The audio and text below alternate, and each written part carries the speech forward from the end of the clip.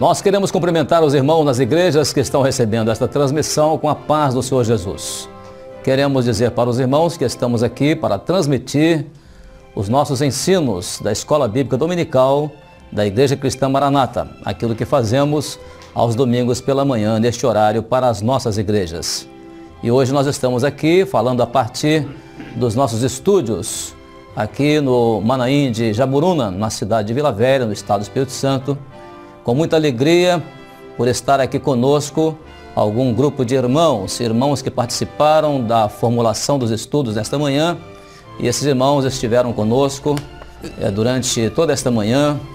E são irmãos das nossas igrejas próximas aqui, um grupo de jovens, um grupo de jovens do Plano 100, também alguns irmãos que vieram de Manaus, estão passando alguns dias aqui conosco, pastores, irmãs.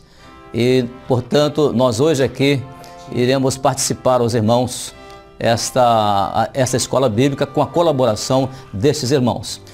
Temos também a alegria de compartilhar com as igrejas o seminário que nós tivemos ontem no Manaim, com mais de 2 mil, quase 2.500 pessoas no Manaim, segundo período do seminário, onde as bênçãos do Senhor acrescentaram ao nosso coração aquilo que é a alegria de compartilhar da palavra do Senhor. E hoje, irmãos, nós vamos, conforme já havíamos é, comunicado aos irmãos, iremos abordar aqui o assunto relacionado à quarta carta da à igreja, às igrejas da Ásia, que é a carta à igreja de Tiatira. E para dar início à nossa primeira parte do nosso assunto nesta manhã, nós iremos convidar o pastor Gedeuti para transmitir para os irmãos uma palavra introdutória relacionada ao assunto e depois iremos transmitir as perguntas aos nossos irmãos. Irmãos, a paz do Senhor, mais uma vez estamos aqui com a incumbência de trazer para os irmãos e receber também da parte dos irmãos tudo aquilo que tem sido acrescentado aos nossos estudos aqui. Os nossos irmãos nas igrejas têm colaborado conosco e enriquecido essa palavra tão importante para o momento profético que nós estamos vivendo.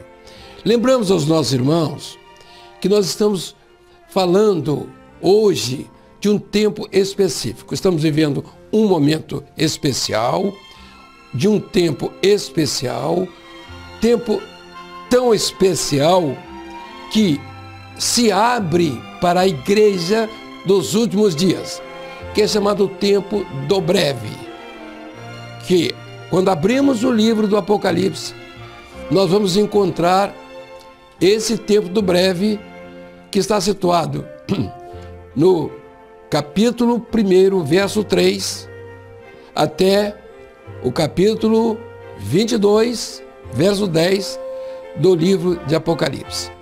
Este breve, essa palavra breve, no original, está relacionada com o Messias. Então, o Messias que se, a que se refere é Jesus.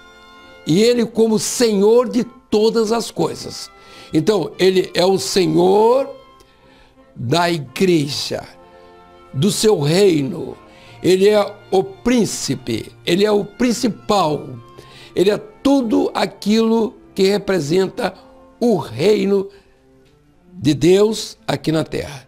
Jesus, portanto, se apresenta à igreja e ao seu reino, e nós vamos ver isso com muita clareza nas sete cartas que falam do período histórico e profético da igreja, desde o seu primeiro dia de vida até o momento quando a igreja será arrebatada. É claro que o povo, que o nosso povo já tem entendido que o tempo está breve. Está se abreviando cada vez mais. Então, esse breve, para nós, tem um sentido profético que nos remete ao entendimento desse tempo que se esgota, de uma porta que se fecha, que é a porta da graça. Não estamos fechando a porta da graça. Não temos autoridade para isso. Não somos dono dessa porta porque a porta é Jesus.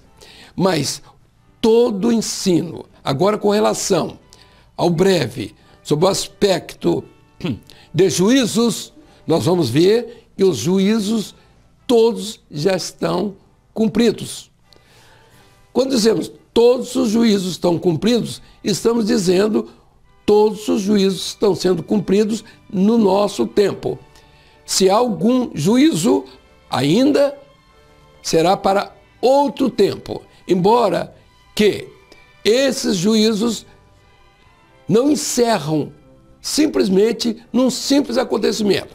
É uma soma de eventos, de acontecimentos, sejam eles históricos, políticos, sociais, físicos, geofísicos, sejam eles e eles estão se desdobrando a cada dia. E nós, como igreja, estamos vivendo, na verdade, um momento profético extraordinário que é a festa que muitos não entenderam. Nós estamos saindo da festa do Pentecostes e estamos entrando já terminando o Pentecostes, já começa a festa das trombetas. Porque quando nós vemos a história de Israel, nós vamos entender que antes de terminar o Pentecostes começam as trombetas. E nós podemos dizer que o momento que estamos vivendo é o momento entre o final do Pentecostes e o início das trombetas. Aí estão as trombetas que tocam, que são avisos solenes, que estão relacionados com a vinda do Senhor Jesus. Nada melhor para nós do que irmos à palavra do Senhor para tratar do nosso assunto hoje, que está relacionado com o fortalecimento da igreja, com o caminhar da igreja, com a chegada da igreja. É o ponto final. Não sabemos a que dia nem a que hora, mas sabemos que o tempo se abrevia. O tempo está próximo. E essa é a palavra que alegra o nosso coração e todos os servos de Deus que estão olhando para os céus. Porque para o chão as coisas estão muito difíceis. E quando diz a palavra, e quando vires todas essas coisas, olhai para cima, porque a vossa redenção está próxima. É nesse contexto que nós entramos nas cartas, onde vimos a primeira carta com as parábolas do reino, que são sete parábolas, com a operação dos sete Espíritos de Deus. E hoje, que eu gostaria até que fosse colocado, nós vamos abordar mais um elemento que colocado na tese, nas 95, é, nos 95 artigos de Lutero, que colocou na sua tese, que provocou a reforma religiosa do século XVI. Nós vimos a primeira tese, e eu gostaria que fosse colocada agora à disposição dos irmãos no quadro aqui. Primeira o primeiro princípio, livre exame das Escrituras. O segundo princípio, agora nós vamos aqui, a supremacia da fé pelas obras. O terceiro princípio, Jesus Cristo, o único mediador entre Deus e os homens. O quarto princípio, sacerdócio universal do crente. Então temos os textos todos aqui. Nós vamos já temos enquadrado esses assuntos dentro de cada carta e cada parábola. E a operação do Espírito do Senhor. Vejam só, irmãos, estamos indo devagar, mas indo ao longe, muito longe. E nós chamamos a atenção das igrejas para estudar a palavra. Aos pastores que se reúnam com suas ovelhas, com os jovens, abram a palavra, Voltem a rever, releiam tudo isso. E nós passamos essa semana para os nossos pastores, obreiros, algumas informações sobre a carta que nós vamos tratar dela hoje, que é a carta à igreja de Tiatira. Vejam os irmãos, livre exame das escrituras. Então nós vamos encontrar é, Éfeso, onde a palavra foi tolhida. De que forma? Houve uma oposição à palavra. No segundo, a supremacia da fé pelas obras. Aí nós vamos encontrar a igreja de Esmirna. Nós vamos encontrar a parábola do joio e do trigo, onde o trigo teria que ser encerrado, teria que desaparecer, porque entra então um assunto de obras que é joio para eliminar o trigo. Então nós vamos ver a parábola do trigo e do joio. Mais tarde nós vamos encontrar a, a, a igreja, um cristianismo que perdeu a vida, a doutrina perdeu vida. A palavra perdeu vida, por quê? Porque o que traz vida à palavra é a fé. Então a fé agora é o grão de mostarda que morre e vai se apresentar aqui na frente, já como fermento que na igreja de Tiatira. Portanto, ela morre aqui, a fé, a palavra perde a vida. Então, quando ela perde a vida, ela perdeu a fé, ele perdeu a operação do Espírito Santo, entra a razão do homem e cria a religião com o nome de cristianismo. E continuou desse jeito. E foi por isso que entra agora Lutero, 1517, e coloca a reforma, coloca os princípios da reforma religiosa, é assim, Jesus Cristo, o único mediador entre Deus e os homens. A igreja já tinha mudado isso, o cristianismo mudou, não era mais Jesus, era qualquer pessoa, pessoas boas, Maria, fulano, pessoas boas, servo de Deus, irmãos nossos que viveram no passado, mas ele não podia substituir a Jesus. Mas o entendimento do cristianismo, quando ele perde a fé, quando ele perde a operação do Espírito Santo, quando ele perde, ele perde a revelação, e já era uma promessa lá, já na primeira igreja, tirarei de ti o castiçal, de, de a luz, eu vou tirar a revelação. Quando a revelação sai, sai porque a fé morre. A fé desaparece. E agora nós vamos encontrar uma religião simplesmente com o nome de cristianismo, vivendo aquilo que era simplesmente a razão, o desejo humano, o governo humano, tudo aquilo que é muito natural na vida do homem, querer esta vida, querer o mundo e suas, suas oferendas. Assim, meus irmãos, aqui, por último, hoje nós vamos ver o sacerdócio universal do crente, e nós vamos ver agora aqui o que é que entra a igreja entra o cristianismo naquele período do fermento, ele coloca a mulher por que usa a palavra mulher? Porque não é a igreja fiel, a igreja fiel é a noiva. A mulher entra no espírito de Jezabel, que é o jezabelismo, ela usurpa o governo do Espírito Santo, como Jezabel usurpou o governo de Acabe, e faz aqui uma transposição, algo que muda todo o projeto, onde tira o direito do homem ir diretamente a Deus. Então a igreja, então ele agora, aqui em que atira, ele inverte. É Deus dependendo do homem e não o homem dependendo de Deus. Então são os rituais que entram para justificar isso. E nesse caso, aqui agora nós vamos agora à primeira pergunta. Eu vou passar a palavra ao pastor Gilson para que ele possa dar continuidade a esse nosso estudo de hoje.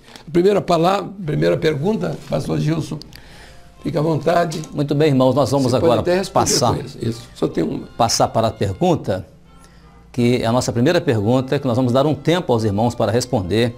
A pergunta é a seguinte, muito bem, é, em que momento a igreja perdeu a essência profética da palavra, ou seja, a doutrina perdeu a sua finalidade. Isso em que momento, no período da, profético da igreja, a igreja perdeu a essência profética da palavra, ou seja, a doutrina perdeu a sua finalidade. A resposta, os irmãos poderão usar uma parábola contida no capítulo 13 de Mateus, né, capítulo 13 de Mateus, citando o nome da semente. Então os irmãos vão procurar agora é, em Mateus capítulo 13, a resposta a essa pergunta para responder em que momento a igreja perdeu a essência da palavra. Os irmãos então terão três minutos para responder a essa pergunta. Três minutos, nós estaremos de volta para dar uma contribuição sobre o assunto.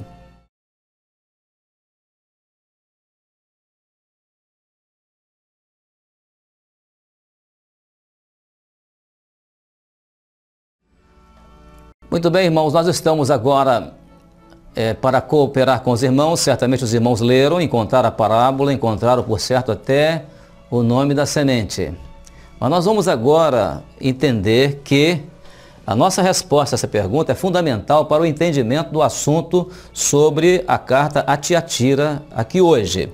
Em que momento a igreja perdeu a essência profética da palavra, ou seja, a doutrina perdeu a sua finalidade. Então, nós vamos usar uma parábola que está contida no capítulo 13 de Mateus, citando o nome da semente. Então, esse momento é o momento quando a fé morre. Então, a fé morre, e aí nós vamos encontrar essa expressão da morte da fé aqui no capítulo 2, verso 13 de Apocalipse, quando na morte de Antipas. Então o texto diz assim: E retens o meu nome, e não negaste a minha fé, ainda nos dias de Antipas, minha fiel testemunha, o qual foi morto entre vós, onde Satanás habita. Então aqui em, nessa, na carta a Esmirna, capítulo 2, verso 13, vamos encontrar o momento da referência em que, na figura de Antipas, a fé que até então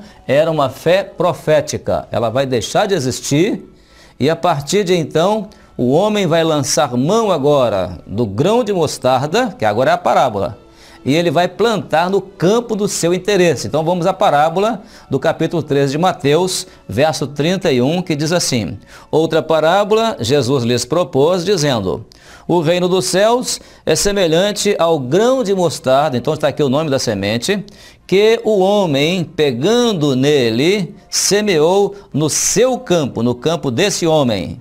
Então aqui está o momento em que a fé, ela deixa de ser uma de ter vida interior e ela passa agora a se exteriorizar, ou seja, ela é uma fé apenas de aparamento, de paramentos exteriores. Uma fé, portanto, que é uma estrutura meramente religiosa, eclesiástica, organizacional, mas a essência da fé que estava na semente do grão de mostarda, quando o homem toma ah, isso e coloca no campo do seu interesse, semeia no campo do seu interesse, ele transforma agora a fé em algo que é apenas de estrutura exterior.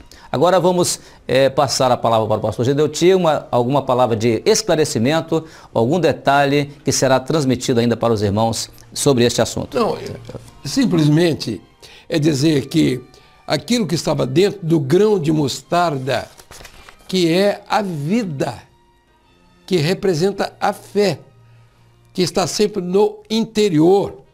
E quando ela se exterioriza, essa fé é porque morreu a fé. Então criou-se uma árvore que não tem nada a ver com o grão de mostarda. A fé do grão de mostarda é interior.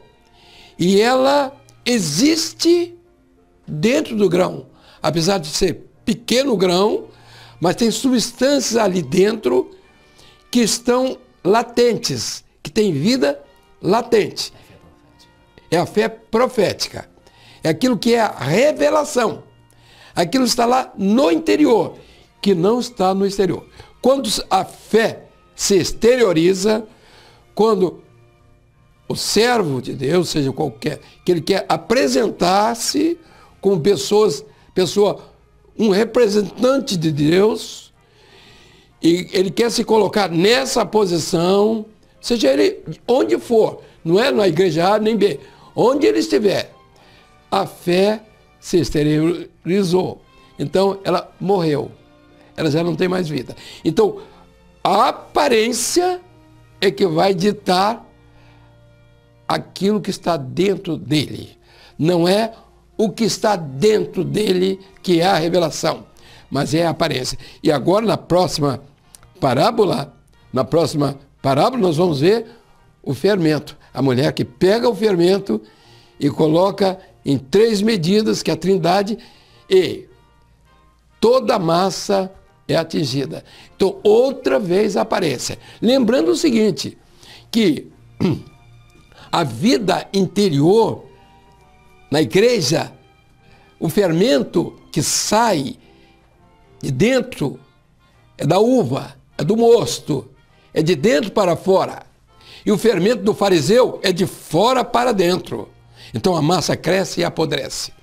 Assim eu vou dar a palavra mais uma vez ao pastor para ele agora fazer a próxima pergunta e deixar para que os irmãos. Muito bem, irmãos. A nossa próxima pergunta. Vou trocar. Nós vamos é, descobrir agora na carta a Tiatira onde estão exatamente a, a operação dos sete Espíritos do Senhor. Então nós temos o Espírito do Senhor, o Espírito de sabedoria, temos também o Espírito de inteligência ou discernimento, o Espírito de conselho, depois o Espírito de fortaleza, o Espírito de conhecimento e o Espírito de temor. Então os irmãos vão agora ler o texto né, na, na, na carta, no capítulo 2, né, que, é, que é a quarta carta, é a Tiatira. Então, lendo o capítulo 2, os irmãos vão ler é, a partir do verso, do, do verso 30, é, 18. Do 18 em diante, os irmãos vão ver a parábola, ou melhor, a carta à igreja de Tiatira, e vão então descobrir agora onde está a operação dos sete Espíritos do Senhor na carta a Tiatira. Vamos dar um, um pequeno intervalo para os irmãos. Nós vamos dar dez minutos para os irmãos responderem a essa pergunta. A pergunta já está agora no quadro, onde estão os sete Espíritos do Senhor na carta a Tiatira. Voltaremos então dentro de dez minutos.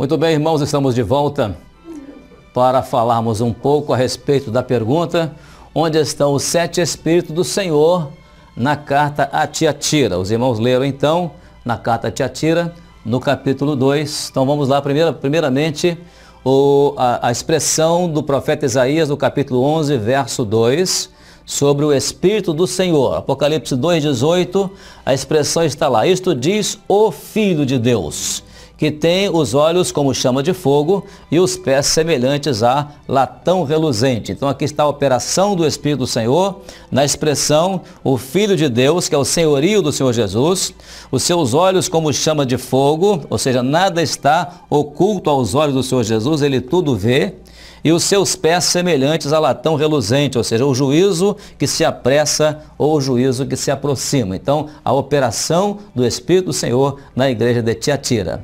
Em seguida, o espírito de sabedoria. Então, está aqui o espírito de sabedoria, no capítulo 2, verso 19 de Apocalipse, onde está lá a expressão do capítulo 2, verso 19, que diz: Eu conheço as tuas obras e a tua caridade, o teu amor, o teu serviço, caridade ou amor, o teu serviço, a tua fé e a tua paciência. Então, era a fé, a esperança e o amor, aquilo que permanece conforme o apóstolo Paulo escreve a primeira carta aos Coríntios, capítulo 13. Então era a sabedoria da igreja, ela conservava a sua a fé, os fiéis ali, a esperança e o amor. Depois o espírito de inteligência ou discernimento, que é segundo a expressão do profeta Isaías capítulo 11, verso 2. Apocalipse 2, verso 20, aqui está o discernimento da igreja, quando fala a respeito da mulher que se diz profetiza, porque ela ensina e engana o servo do Senhor, aqui no versículo 20, ensinar e enganar o servo do Senhor, para que se prostituam e comam o sacrifício da idolatria. Verso 20. A profecia e ensino dessa mulher, ou seja, essa estrutura na forma de uma igreja infiel, como são esses ensinos mentirosos.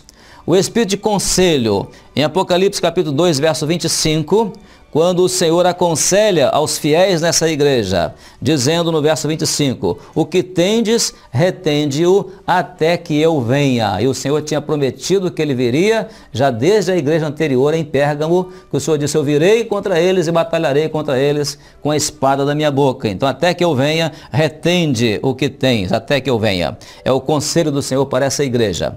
Agora, o quinto, a quinta operação do Espírito de fortaleza no verso 19, quando fala a respeito da, das últimas obras. As últimas obras são mais do que as primeiras, Porque as últimas obras, quando diz assim, guarda até o fim as minhas obras. Que obras são essas aqui? São as obras daqueles que não estavam mais influenciados pelas obras de Tiatira, porque as obras de Tiatira eram obras que não agradavam ao Senhor, eram, era, era, era salvação pelas obras. Agora, o, a, a, aos fiéis ali, o Senhor fala que as últimas obras, que seriam depois de Tiatira, são aquel, aquelas obras daqueles que não fizeram parte e não concordaram com aquilo que estava em Tiatira. O próprio verso 24 tem uma promessa do Senhor de que esses que não têm sobre eles a doutrina de Tiatira, o Senhor diz que outra carga não poria sobre eles. Então está aqui o espírito de fortaleza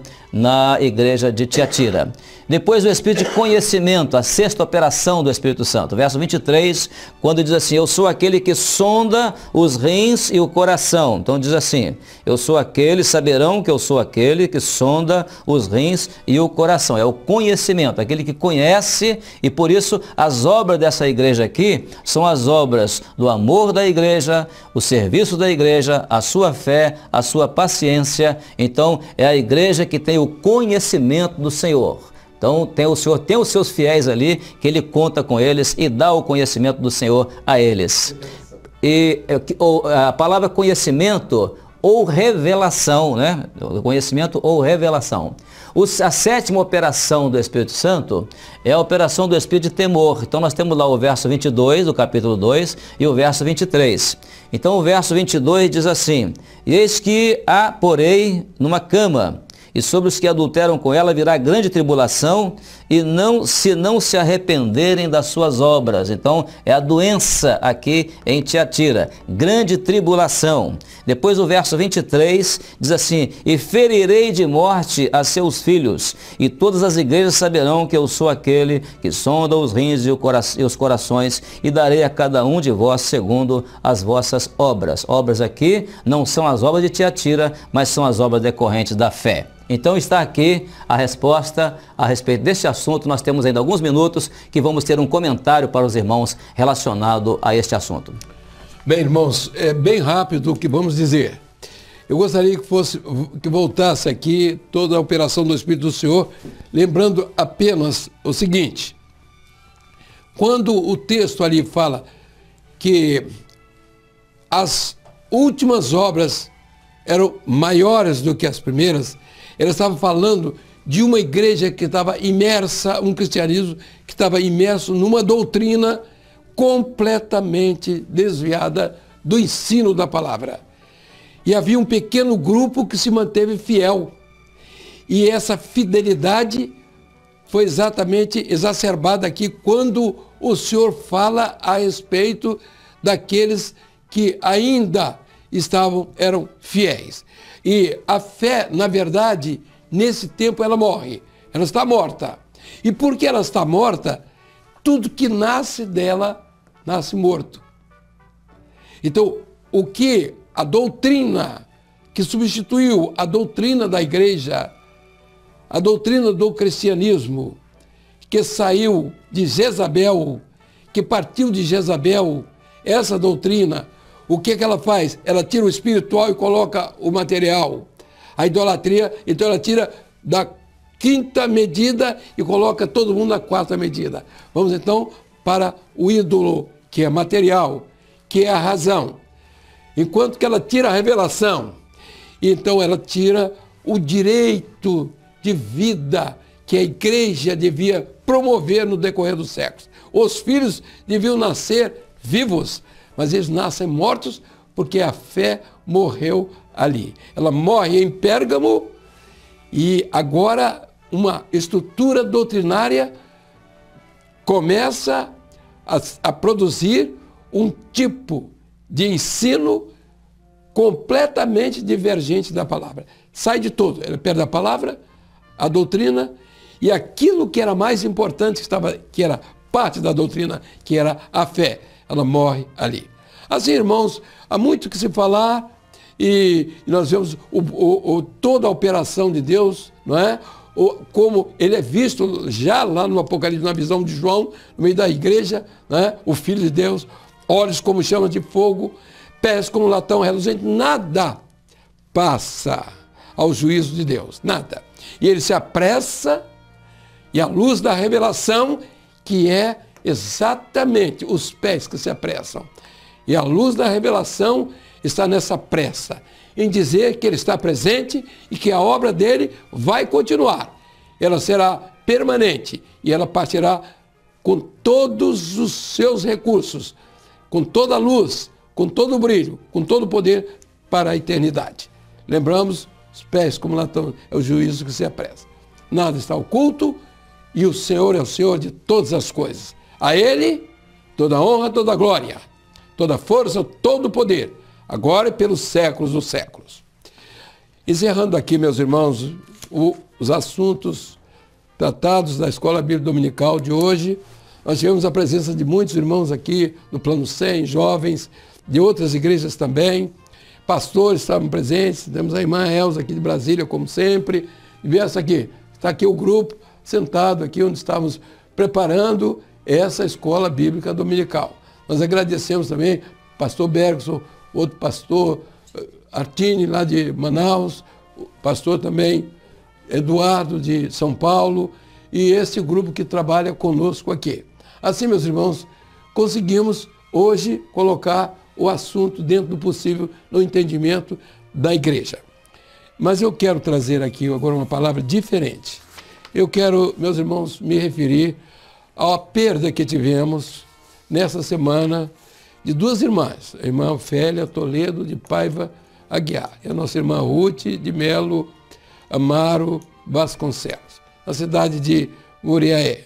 Um acontecimento inesperado e muito sofrimento para nós. E eu quero deixar aqui o meu abraço ao pastor é, Cação, que é pai da nossa irmã Ofélia, seu marido, e os demais aqui, da irmã Ruth, seus familiares, todo o nosso desvelo, todo o nosso amor, todo o nosso sofrimento, lágrimas, sentimos profundamente. Eu estive nesse período acamado e, e tive é, as informações, apenas podemos nos representar aí com os nossos irmãos, mas eu quero deixar aos nossos irmãos que estão aí, a dessa de companhia. Não existe palavras de consolo a não ser as palavras que estão sendo vividas nesse momento.